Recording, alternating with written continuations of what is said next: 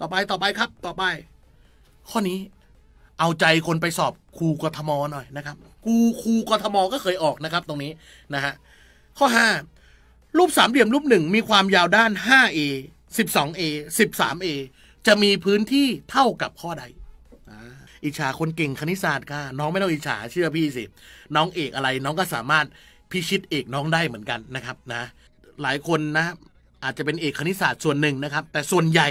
น่าจะไม่ใช่เอกคณิตศาสตร์นะครับ น่าจะ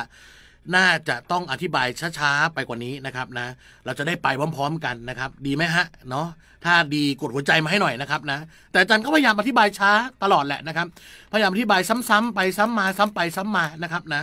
เออจะผ่านไหมครับแบกความหวังไว้หนักเลยผ่านสิต้องผ่านสิทธิ์มีครูต้องได้นะครับ ต้องทำได้สิทธิ์มีครูต้องทำได้นะครับอะทุกคนข้อที่ห้าครับ รูปสามเหลี่ยมรูปหนึ่งทุกคนไฮไลท์คำนี้นะครับ เราไม่รู้ว่าสามเหลี่ยมอะไรนะฮะอ่าเราไม่รู้ว่าสามเหลี่ยมอะไรนะครับ เพราะนั้นหลายหลายคนน่าจะเป็นไม่ไม่ค่อยใช่เอกคณิตศาสตร์ก็พยายามจะช้าๆนิดหนึ่งนะครับนะ ไม่ค่อยได้เข้ามาติวติดงานโรงเรียนครับ โอเคโอเคนะ อาจารย์ก็พยายามจะช้านิดหนึ่งนะครับนะ ทุกคนเห็นความยาวด้านนะครับ ทุกคนสามเหลี่ยมจะมีความยาวด้านสามตัวอยู่แล้วนะครับ แล้วถ้าใครแม่นๆนะครับ แล้วรู้เนี่ยนะครับ รูปสามเหลี่ยมเนี่ยที่เห็นชัดๆ ว่าเป็นสามเหลี่ยมมุมฉากเนี่ยจะมีสามสี่ห้าห้าสิบสองสิบสามพี่เคยน่าจะเคยเขียนให้น้องแล้วป่ะ ในไลฟ์สด EP ที่เมื่อประมาณสองอาทิตย์ที่แล้วนะครับนะสามสี่ห้าสี่ห้าห้าสิบสองสิบสามที่ใช้สอบบ่อยนะครับห้าสิบสองสิบสามนะครับอันอื่นก็ปะปลายแล้วอะนะครับนะห้าสิบสองสิบสามแล้วก็มีเจ็ดยี่สี่ยี่ห้า ปะปลายแล้วนะครับ น้องสำหรับภาคกรนะครับนะจะมีหนึ่งหนึ่งรูทสองเลยนะที่เอกคณิตศาสตร์เขาใช้บ่อย เอาแค่นี้พอนะครับ เอาแค่นี้พอ เอาเป็นว่าถ้าน้องไปเจอเลขชุดนี้ที่ไหนสามสี่ห้าห้าสิบสองสิบสามมันจะกลายเป็นรูปสามเหลี่ยมมุมฉากทุกครั้งนะครับเพราะฉะนั้นข้อนี้เนี่ยน้องเห็นห้าสิบสองสิบสามเนี่ย น้องต้องรู้เลยว่าเลขชุดนี้เป็นเลขสามเหลี่ยมมุมฉากเลยนะครับสามเหลี่ยมมุมฉากห้า A สิบสอง A แล้วก็สิบสาม A อาจารย์ขา A คืออะไรคะอาจารย์คะน้องไม่ต้องกังวลเหมือนที่พี่พูดไปอะ A คือจำนวนเท่า ไม่ว่ามันจะคูณสองคูณสามคูณสี่คูณห้าหารหกหารเจ็ดหารแปดมันก็ยังเป็นสามเหลี่ยมมุมฉากอยู่วันจนค่ำนะครับ เพราะนั้นตรงนี้ A เนี่ยคือจำนวนเท่าน้องก็ติดไว้นะครับ 3A 4A 5A ช่างมันนะครับ เพราะฉะนั้นความยาวด้านจะเป็น 5A 12A 13A นะครับ ซึ่งมันจะเป็นสามเหลี่ยมมุมฉากทุกครั้งนะครับคำถามคือ แล้ว ความยาวด้านหนูรู้ได้ยังไง ว่ามันต้องใส่ความยาวด้านแบบนี้คำตอบคือทุกคนครับ ไม่รู้ครับ ไม่รู้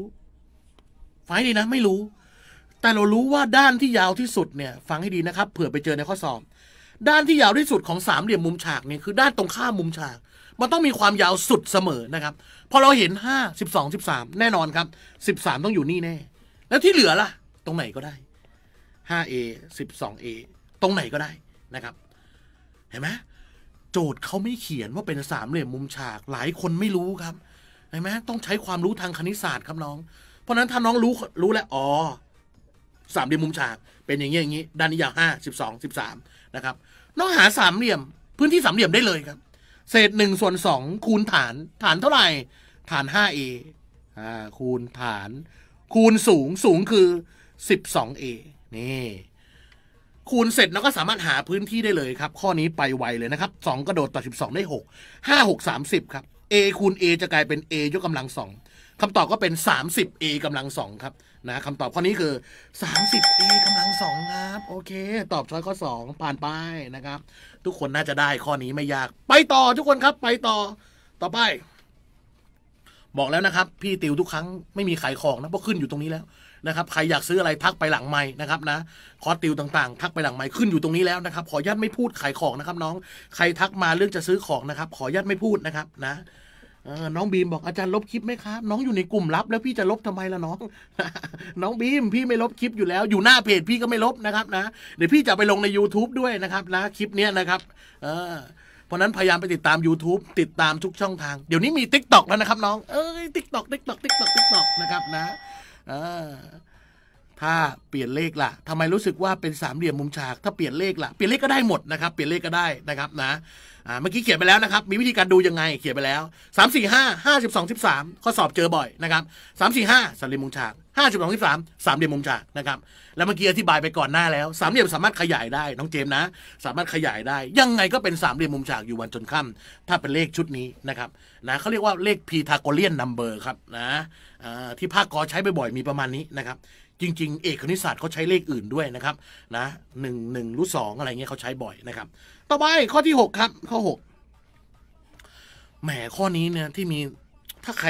เขาเรียกถึงถึงประสบการณ์ถึงถึงข้อหกนี่ไม่ยากเลยนะครับ ข้อหกโจทย์ถามว่า รูปสามเหลี่ยมผืนผ้า รูปหนึ่งมีความยาวด้าน ด้านกว้างสั้นกว่าความยาวด้านยางอยู่สองนิ้ว และความยาวเส้นทะแยงมุมยาวสิบนิ้ว แล้วสี่เหลี่ยมรูปนี้มีพื้นที่กี่ตารางนิ้ว และพี่ต้องบอกน้องว่า บางคนส่วนใหญ่นะครับ อย่างคอร์สออนไลน์ตอนนี้เกือบสองพันคนแล้ว เขาติวกันมาหกเดือนแล้วครับน้อง นะ หกเดือนแล้วตั้งแต่สอบเสร็จนะครับ สอบเสร็จอะนะเขาเริ่มเข้าคอร์สมาแล้วเพราะมันจะมีการสอบรอบที่สองเมื่อตอนนั้นที่เข้ามา ก็เข้ามาใหญ่เลยบางคนอ่านหนังสือตั้งแต่ตอนนั้นแล้วนะครับเพราะนั้นต้องชื่นชมนะครับใครอ่านหนังสือมาตั้งนานแล้ว ชื่นชมจริง ๆนะครับ ก็ไม่ต้องเหนื่อยมากเท่าไหร่นะครับใครที่ไม่ได้อ่านหนังสือเลย ต้องเตรียมตัว เตรียมตัวให้ดีนะครับอะทุกคนมาข้อนี้อย่างไวข้อนี้รูปสี่เหลี่ยมผืนผ้านะครับ มีด้านกว้างสั้นกว่าด้านยาว แน่นอนอยู่แล้ว ด้านกว้างก็ต้องสั้นกว่าด้านยาวอยู่แล้วนะครับ ด้านกว้างสั้นกว่าด้านยาวสองนิ้วนะครับ ทุกคนคนที่คนที่ไม่ค่อยมีประสบการณ์นิดนึงเนี่ยเขาจะทำยังไงรู้ไหมครับเขาบอกว่าด้านกว้างสั้นกว่าด้านยาว และมีเส้นทะแยงมุมยาวสิบหน่วยเนี่ยนะครับ วิธีการของคนทั่วไป ถ้าดูโจทย์ไม่ออกนะ ตีโจทย์ไม่ขาดเนี่ยนะครับเขาจะลากตรงนี้มาครับ เส้นทะแยงมุมนี่เส้นทะแยงมุมตรงนี้ ยาวสิบหน่วยใช่ไหมครับ ยาวสิบหน่วย แล้วเขาว่าไงนะครับ ด้านกว้างสั้นกว่าด้านยาวนะครับเขาก็จะให้ด้านกว้างเป็น x ด้านยาวเป็น x บวกสองแล้วนั่งหาพีทาโกรัสมาพักหนึ่งนะครับ นั่งหาพีทาโกรัส ถ้าคนที่ประสบการณ์ไม่ถึงนะ วิธีตรงๆอะดูนะครับ วิธีตรงๆเขาจะนั่งหาพีทาโกรัส โดยใช้สูตรว่าไงนะพีทาโกรัส ด้านตรงข้ามมุมฉากกำลังสองก็คือสิบกำลังสองที่เหลือคือผลบวกกำลังสองของด้านประกอบมุมฉากก็จะได้เป็น x กำลังสองบวกกับ x บวกสองทั้งหมดกำลังสอง เขาจะทำมาอยู่พักหนึ่งแล้วแก้สมการมาสักพักหนึ่งนะครับ ต้องใช้คำว่าสักพักหนึ่ง แยกแฟกเตอร์สองวงเล็บด้วยนะครับ นะ ถ้าใครทำแบบนี้ bye bye นะครับ bye bye กลับบ้านได้เลยครับนะ วันสอบอะนะ น้องทำอย่างเงี้ยเสียเวลามากครับ เราจะไม่ทำแล้ว แล้วพี่จะไม่ทำให้ดูด้วย เพราะมันเสียเวลานะครับ แต่ถ้าใครประสบการณ์ถึงถึงเนี่ยแต่พี่เชื่อว่าน้องที่คอมเมนต์มาเนี่ยเยี่ยมเลยนะครับ หรือน้องที่ไม่ได้คอมเมนต์ด้วยนะ น้องอาจจะทำอยู่บ้าน อาจจะไม่ได้สะดวกพิมพ์พิมพ์แล้วอาจจะช้ากว่าเพื่อนไม่เป็นไรนะครับ คนที่ดูโจทย์เป็นเนี่ยนะครับเขาจะรู้ว่า รูปเนี้ยเนี่ย มันเป็นสี่เหลี่ยมผืนผ้าก็จริง